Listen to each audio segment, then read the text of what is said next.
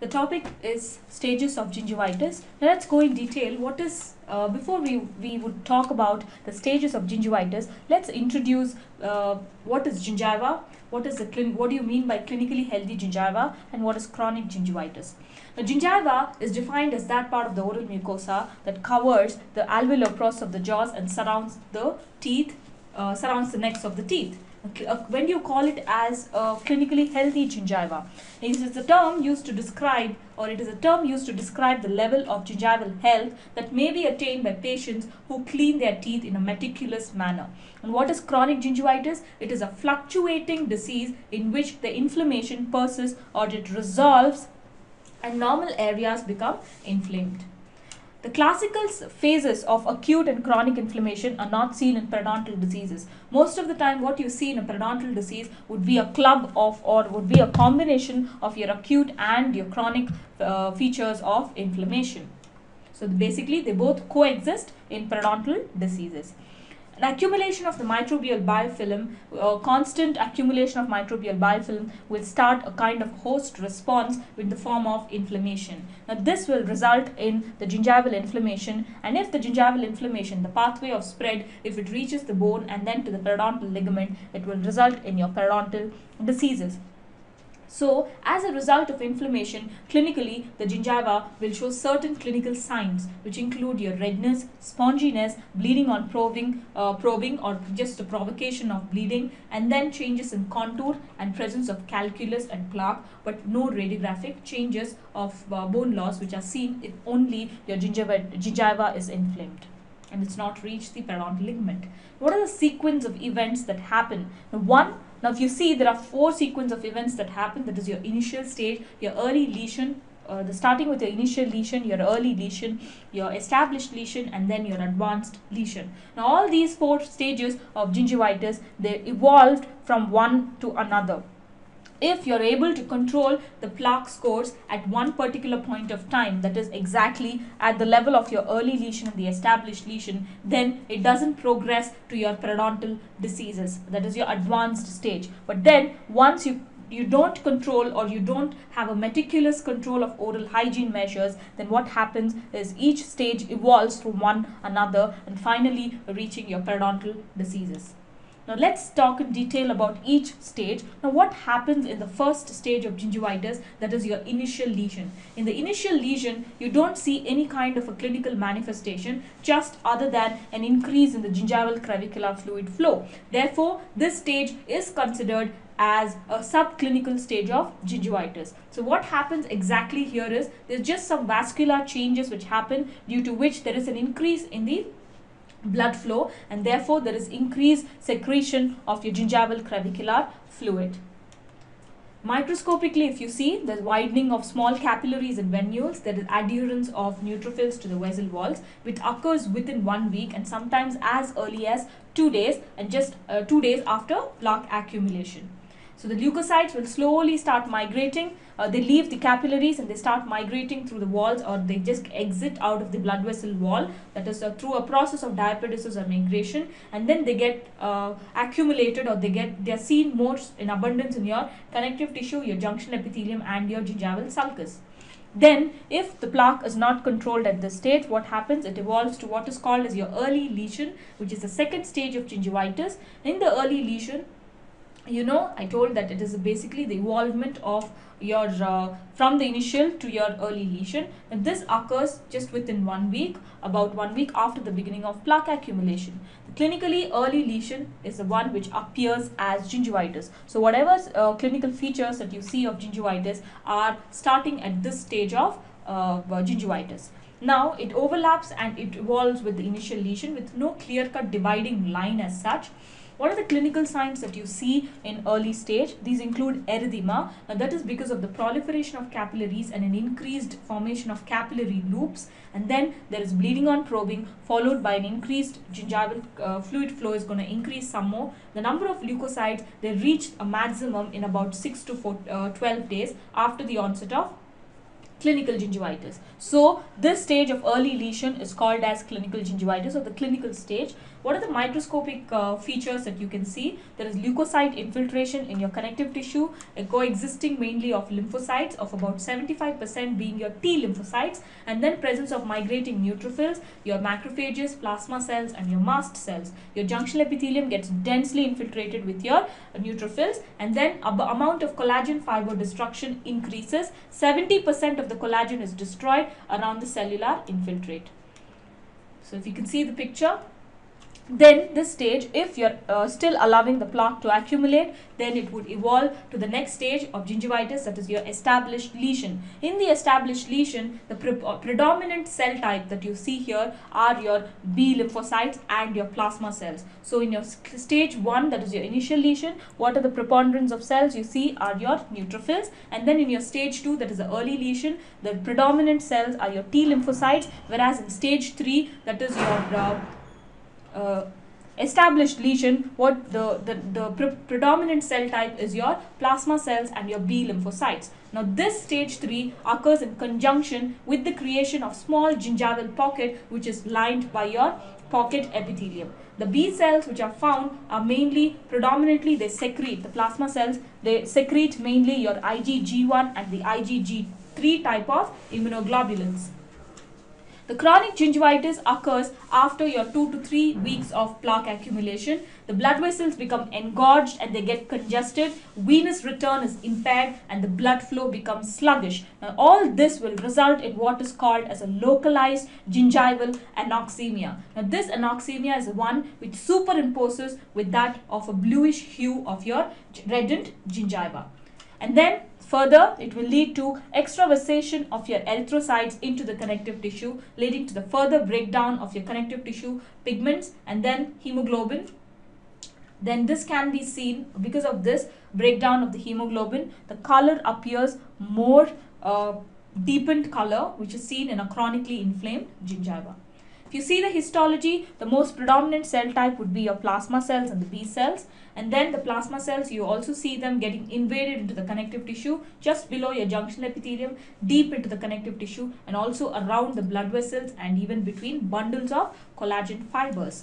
The junctional epithelium, what are the changes that you see? The widened intercellular spaces. And these widened intercellular spaces get filled with granular cellular debris, your lysozymes or lysosomes, uh, which are derived from your disrupted neutrophils. You know, lysosomes are enzymes which are uh, released from your granules of neutrophils, lymphocytes and even monocytes. They develop rete pegs, so you have uh, so the junctional epithelium uh, what the changes that you see in your junctional epithelium at the stage of established gingivitis is that the intercellular spaces are widened and in these intercellular spaces you have lots of fluid which is collected and then your neutrophils are seen lysosomes enzymes are seen and then you have your uh, lymphocytes and even other cells of inflammatory uh, cells that is your macrophages which are seen the there are development of rete pegs within the junctional epithelium and the sulcular epithelium and therefore there is uh, plus apart from that there is destruction of your basal lamina and the connective tissue and then uh, or acid hydrolases are the ones which play a key role in causing this destruction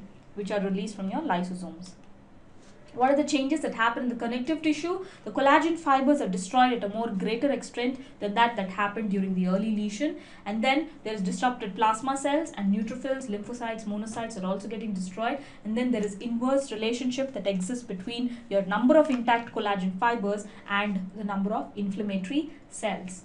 Collagenolytic activity is increased because of and that is because of the increased release of collagenases which are produced by the oral bacteria and your PMNs. So your chronically inflamed gingiva has elevated levels of all these enzymes that are your cytochrome oxidase, aminopeptidases, your esterases, glucosidases, your galactosidases and then your alkaline phosphatases and your acid hydrolases. And then what happens in your established lesions? If you're able to control the plaque accumulation at least at this stage and you're able to stable stabilize your gingival status then it will stop with gingivitis. If not it will progress further to turn out to become your advanced lesion. Now this is stage 4 that is your advanced lesion stage 4 gingivitis wherein there is an extension of the lesion into the alveolar bone which characterizes the fourth stage of advanced lesion leading to phases of periodontal breakdown and in under the microscope what all do you see? Under the histological section if you see you find lots of fibrosis in the gingiva widespread manifestations of inflammatory and immunopathological tissue damage. Plasma cells continue to uh, dominate the connective tissue followed by neutrophils continue to dominate your gingival uh, junctional epithelium and your gingival crevice or your sulcus Gingivitis will progress to periodontitis only in individuals who are susceptible to the disease and it is not that every individual is susceptible and that never that you know always it, it, it is not that always your gingivitis has to progress to your periodontitis. So it can stop at gingivitis stage and get stabilized there if if not in some individuals it does lead to periodontal diseases. Now to summarize the stages of gingivitis if you see in the initial stage uh, initial lesion it occurs between 2 to 4 days of plaque accumulation where blood vessels are dilated and you have vasculitis and then and the junctional epithelium and the sulcular epithelium mainly it's the predominant new, uh, neutrophils which are seen. So the predominant cells immune cells in stage 1 lesion are your immune uh, your polymorphonuclear neutrophils or the PMNs. And what happens in the collagen? There is a perivascular uh, breakdown of collagen. Clinical findings, you don't find any clinical finding other than an increase in the gingival crevicular flow and then it is a therefore it is called as a subclinical stage of gingivitis then when it evolves if you're allowing it to accumulate more you have your early lesion which appears between the 4 to 7 day of plaque accumulation there is increase in the pro uh, vascular proliferation with vasculitis it is uh, what the cells that are seen in the junctional epithelium are your pmns and uh, there are rete peg formation and there is atrophic areas in the sulcular and the junctional epithelium the predominant cell type that you see in your early lesion is your lymphocytes, that is your T lymphocytes. 75% of the cells are your T lymphocytes. And then collagen, yes, there is loss of perivascular collagen. And apart from that, there is slight more uh, loss of collagen just around your inflammatory infiltrate. Apart from that, your clinical findings at this stage would be erythema and an increase in bleeding on probing and even your gingival crevicular fluid is increasing. Then it evolves into the established lesion that is between 14 to 21 days of plaque accumulation. What happens here in the capillaries is that there is an increase in vascular proliferation, there's vasculitis and then there is stasis of blood and then in the junctional and sulcular epithelium what you find is rete peg formation. There's uh, it's a more advanced form of rete peg formation and atrophy of the epithelium. Apart from that there's neutrophils and uh, uh, cells in your um, inflammatory cells in your junctional epithelium and the sulcular epithelium. The predominant cell type in your established lesion would be your b lymphocytes and your plasma cells. And then the collagen uh, what happens here is there is a, a, breakdown of the connective tissue in an advanced stage in your uh, continued loss around your uh, inflammatory cells and even your uh, perivascular areas and the other areas of the connective tissue. And then the clinical findings are all the signs of clinical inflammation, that is your uh, uh, or your color changes, your contour changes, your size changes, texture, and uh, so on. And there is increased bleeding on probing. So all these stages. So if you're able to control your gingivitis at this particular stage, it doesn't evolve to your advanced advanced stage. But if you're not, then it will lead to uh, periodontal diseases. And not that all individuals who are susceptible to development of periodontal diseases. It is only that only in certain individuals individuals, gingivitis progresses to periodontitis. Thank you. The topic is defense mechanism of gingiva. Now, any tissue in the body would have certain kind of a defense against itself in order to prevent any violation of the structure right similarly your gingiva also has certain defense mechanism which keeps it in health so that it doesn't enter any disease state now before uh, uh, for the uh, gingiva to enter the disease state it has to the defense mechanism has to be broken down or the probably the pathogenic potential should be more severe when compared to the defense mechanism that is produced by the host. Now let's see in detail what is the defense mechanisms of gingiva you know defense mechanism a number of mechanisms operate within the gingiva in order to keep the gingiva in integrity.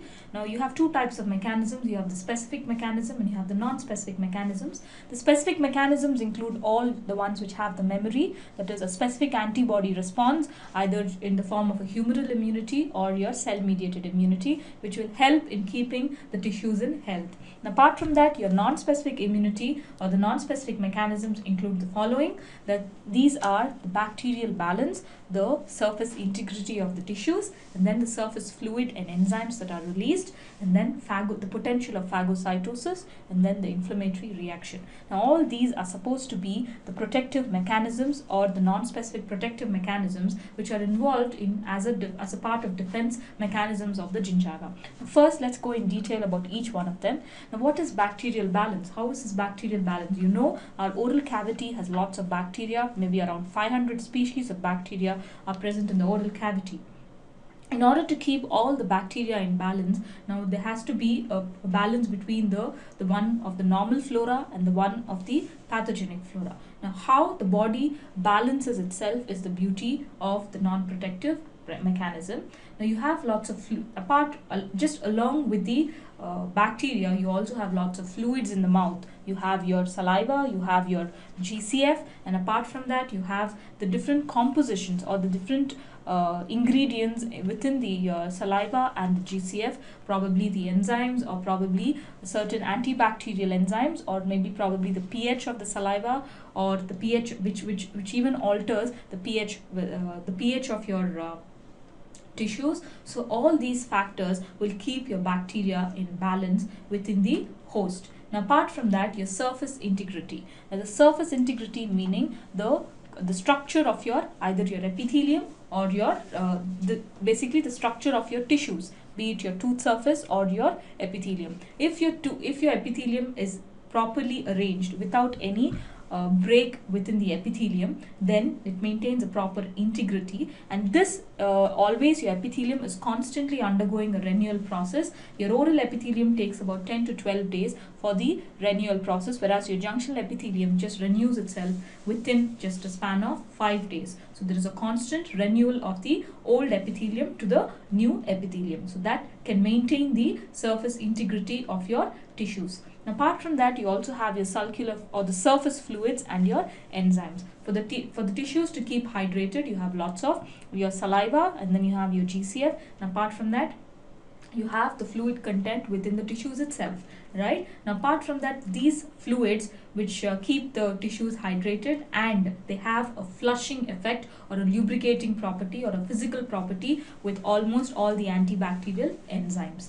So which can limit your pathogenic microbiota and then your defense cells that is your neutrophils which are the first line of defense. Apart from that your macrophages and monocytes both contribute to the mechanism of phagocytosis that is cell eating or the process of endocytosis wherein they have the capacity to engulf the pathogen and then release the, the enzymes within the neutrophil uh, granules and then cause about breakdown or the killing mechanism of your bacteria apart from that your inflammatory reaction. You know that inflammatory reaction is always a protective mechanism. So if an inflammatory reaction in the body once started is supposed to protect the body from the pathogenic microflora what are the non what are those were the non-specific what is the specific pro protective mechanisms? The specific protective mechanism as i told you that they include two things. One is your the two basic components. One is your humoral immunity and then the other one is a cell mediated immunity. Now both of these immunity the the cells which are responsible for this to bring about this kind of immune response are both synthesized or they are produced within the bone marrow from the stem cells or the hematopoietic stem cells. These hematopoietic stem cells are the one which give rise to your cell mediated immune cells that is your T lymphocytes and then the humoral mediated immune cells that is your B lymphocytes. Now how do you distinguish this specific immunity has certain features and the specific immunity can differentiate between oneself and the bacteria meaning to say it detects the bacterial cell that is the pathogen or the antigen from the host cell now your immunity means it shouldn't start destroying the host cells it does if if it starts destroying the own cell of the body then it will lead to autoimmunity we don't want that so this specific protective mechanism has the property to distinguish between the self and its enemy. And then apart from that, these defense contain elements which are specific to certain pathogens. For example, you say that uh, you, you meaning to say that your body produces certain antibodies in order to direct against one particular pathogen. And this once already your antibody is produced against one suppose uh, the first insult that is your bacteria are entering the body and then your body has detected that there is a pathogen. So your body will start defending it by producing antibodies. Now these antibodies, the which were already produced during this time, if there is a second insult or the second infection, then the body will identify that particular pathogen that needs this particular antibody and it will send in that particular antibody for that particular antigen. That's what it says that the defenses contain elements specific against any given antigen apart from that the system has a memory. Now this uh, specific immunity has memory. Means it remembers that this pathogen had already infected the host before.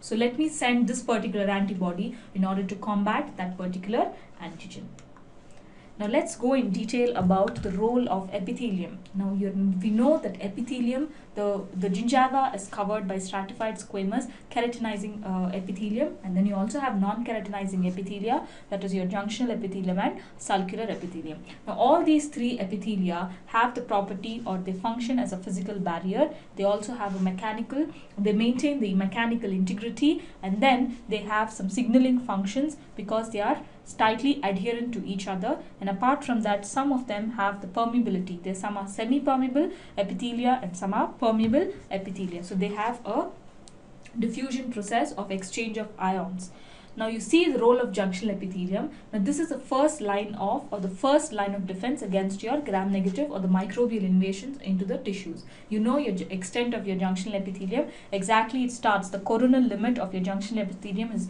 right below the uh, sulcus, your gingival sulcus, right? The coronal extent and the apical extent is just at your cemento enamel junction. Now this junctional epithelium is only epithelial attachment that binds your tooth with that of your soft tissue. Now the internal and the external, you know that the basal lamina is a structure which binds or which uh, basically bridges between your epithelium and connective tissue. Similarly, your junctional epithelium also has a, uh, a basal lamina, but here you have two different types of basal lamina, that is your internal and your external basal lamina. The internal basal lamina is the one which is facing towards your tooth structure. You know that your tooth structure is also a connective tissue, right? It's a basically it's a hard kind of a connective tissue, and your the connective tissue of the gingiva will be the soft one. So the external basal lamina of the junctional epithelium will be towards the connective tissue of the gingiva whereas the internal basal lamina would be towards the tooth surface. Okay, now both of them unite at the apical portion of the junctional epithelium. Now these both act as a barrier against infective agents. So they don't allow anything to enter the connective tissue. Okay. Now this uh, junctional epithelium also has the property to release certain or it has some antibacterial peptides or antimicrobial peptides called as defensins. So they have the property of antimicrobial nature. So these defensins can combat the in, uh, infectious agents. Apart from that, they have the capacity to release certain lysosomal enzymes and then certain interleukins like interleukin 1, 6 and 8 which are the inflammatory mediators and apart from that, they also have the capacity to release your tumor necrosis factor alpha. What is the functions of saliva? Saliva has various functions. You have your lubricative function, you have your physical function, cleansing function, buffering action, and then tooth, it maintains the tooth integrity, and then antibacterial action. That is because of the various salivary components which contribute to the various functions of the saliva. If you see the lubrication is mainly because of the presence of glycoproteins and the mucoids which form a kind of a coating onto your soft tissues and your hard tissues. And that is how it functions in the effect of lubrication lubricating the tissues. And then it has a physical protection. That is through the again coating caused by your glycoproteins and the mucoids. And then the cleansing effect of the saliva is mainly because of the physical flow. You know the composition or the uh, the consistency of the saliva is neither too viscous neither too watery right? So it has a mixed combination of both and then that will help in the so when there is a physical flow, there is a kind of a flushing effect which is created, which will clear all the debris and the bacteria, thus aiding in a self-cleansing mechanism of the tissues. And then you have the buffering function of the saliva. And this buffering function is mainly brought, brought about by the composition or the presence of certain uh, electrolytes within the uh, uh, saliva, that is your bicarbonates. Now your bicarbonates are once the bicarbonates are present they give their tissues a more alkaline property. Therefore the acidic nature of the uh, fluid is decreased by the presence of this bicarbonates. And then the tooth the, the next function is tooth integrity. The tooth integrity is maintained because of the minerals and the glycoprotein pellicle apart from that your immunoglobulin a which also maintains the tooth integrity and it controls the bacterial accumulation or colonization now because of the presence of the glycoproteins and the mineral products which are present in the saliva, there's always a constant remineralization and maturation process of the defective uh, areas in the tooth surfaces. Okay. And apart from that, the antibacterial function of saliva is mainly because of your lysozymes and your lactoperoxidase enzymes, which have the antibacterial nature. So they act against the bacteria and bring about their lysis. So they break the, uh, the basic mechanism of action is by breaking the bacterial cell wall, also oxidation of your susceptible bacteria. If you see the sulcular fluid, now your sulcular fluid is also called as your gingival crevicular fluid. It is a fluid which is seen pre or present within your gingival sulcus. Now what is this fluid? Now this fluid is not present always. There's a controversy which is going on whether to call this fluid as a transudate or whether to call this fluid as an exudate. So finally the net result of the controversy is that that you have to call it as transudate in a healthy condition because there is some kind of a fluid or probably that intercellular fluid which is released into the sulcus and that's why you can call in a healthy status you can call it as a transudate. But then if you have an inflammatory state as the inflammation increases there is an increase in the GCF flow. So now this inflammatory uh, fluid can be called as an exudate. So when there is an inflammatory status you can call the gingival crevicular fluid as an exudate and when there is a healthy state you can call it as a transudate now, the normal GCF flow is about 0.43 to 1.56 microliter and maximum it is in the proximal surface of your molars. Now, basically this gingival crevicular fluid is nothing but the fluid which is which comes as a passage of your blood filtrate or the fluid from the bloodstream through the tissues that exits into your gingival sulcus see the, let's go into detail about the composition of gingival crevicular fluid. This all this contains certain cellular elements. It has some electrolytes. It has organic compounds. It has some metabolic and bacterial products. And then it has some enzymes and enzyme inhibitors inhibitors. Now let's see what are the cellular elements. The cellular elements of your GCF can be your leukocytes, it can be your bacterial cells or your epithelial cells. Apart from that, your electrolytes can be your sodium, you have your potassium and your calcium. And then the organic compounds include your carbohydrates, proteins, immunoglobulins, complement components and your lipids. And apart from that, the metabolic and the bacterial in, uh, products would be your lactic acid, you have your prostaglandins, you have your urea, endotoxins which are released by the bacteria, cytotoxic substances and your antibacterial enzymes or your antibacterial factors. The enzymes and the enzyme inhibitors include your alkaline phosphatase, acid phosphatase, lysozymes, pyrophosphatase, tases, and then your hyaluronidases, and then proteolytic enzymes and lactic dehydrogenases and others. How do you collect? Why you have to know the collection of this GCF?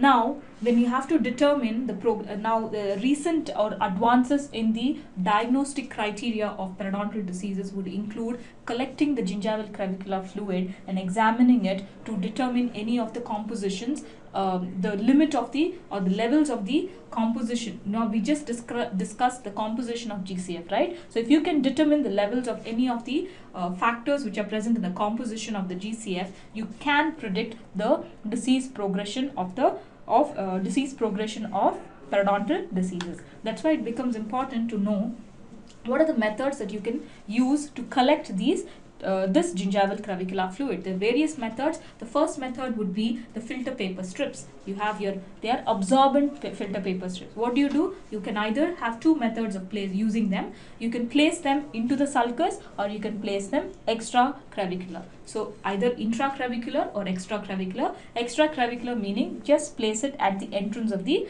sulcus. Now that will absorb the whatever GCF fluid is present in the sulcus and that can be measured and gauged later in order to determine the amount of GCF. Okay. Now you should make sure that when you're placing the uh, absorbent filter paper strips into the sulcus, if you're doing the intracrevicular method, you should make sure that you don't compress or you can you don't apply too much of pressure onto the uh, while placing it into the sulcus because this, this can cause a mechanical stimulation and leads to increased production of GCF or it can also cause bleeding and then it can contaminate the uh, GCF that is collected.